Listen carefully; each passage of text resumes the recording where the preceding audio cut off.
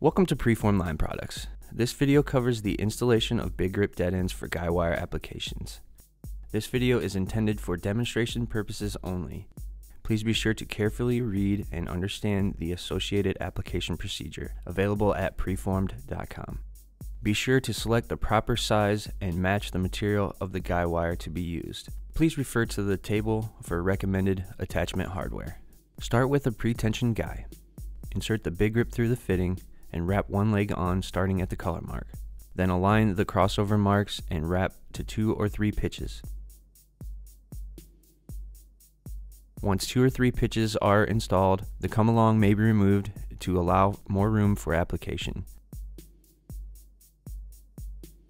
Now the legs may be split into individual wires or subsets of two or three to ease installation.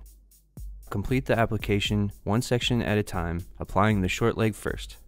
This method allows the ends to be snapped into place more easily.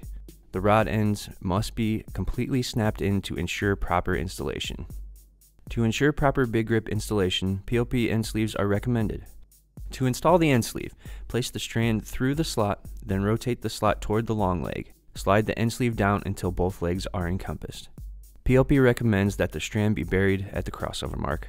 For grounding purposes, the strand can be extended through the loop to be bonded to the hardware or structure. An unbonded tail could result in peel out. This completes the application of the Big Grip dead end for guy wire applications. This featured preformed product is manufactured in the United States and is backed by the experience and field support that PLP has been noted for since 1947. All safety guidelines set forth in the appropriate application procedure for this product must be reviewed and followed prior to installing this product.